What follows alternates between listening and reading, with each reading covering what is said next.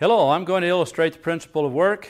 Work is equal to force multiplied by distance moved by the object. Here I have an object, it's a lead weight, and uh, it has a weight of about 26 pounds, as you can see from the scale reading. If I lift this object, it takes 26 pounds of force to lift it. I can lift that object in an easier manner with less force but do, by doing the same amount of work. By using this uh, lever, here I have a board on a fulcrum, and if I put this 26 pound object on the uh, board near the fulcrum,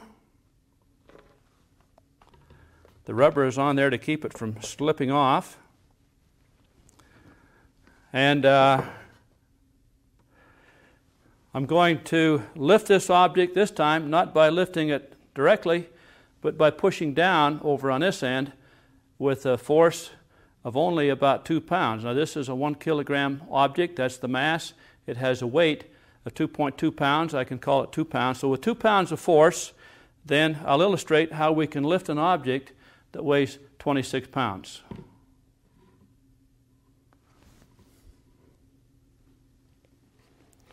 So, two pounds acting through a relatively large distance is equivalent to 26 pounds moving through a relatively small distance. Again, work is equal to force times distance moved. Another example of that is this uh, hoist here, where I have relatively heavy weight. And I can lift this heavy weight by lifting directly, or I can lift this heavy weight by pulling on this rope.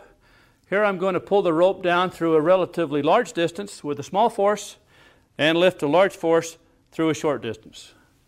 So, small force, large distance is equivalent to large force moving through a short distance. Again, illustrating the principle of work, work is equal to force multiplied by distance moved.